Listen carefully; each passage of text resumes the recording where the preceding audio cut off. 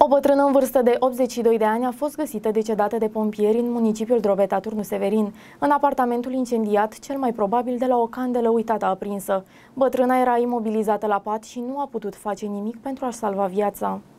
În data de 2 ianuarie, două echipaje operative de pompieri din cadrul detașamentului Drobeta Turnu Severin au intervenit cu auto specială cu apă și spumă și o ambulanță smurd pentru stingerea unui incendiu izbucnit la un apartament situat pe strada Orli din municipiul Drobeta Turnu Severin. Incendiul a fost anunțat de către o locatară a imobilului care a observat că dintr-un dormitor situat la etajul 2 iese fum. La sosirea pompierilor, în interiorul apartamentului a fost găsită o persoană decedată. Femeia avea 82 de de ani și din spusele aparținătorilor, era imobilizată la pat. Incendiul, care a cuprins câteva piese de mobilier, a fost stins în scurt timp de pompieri. Cauza probabilă de izbucnire a acestuia a fost determinată de o candelă sau lumânare lăsată aprinsă.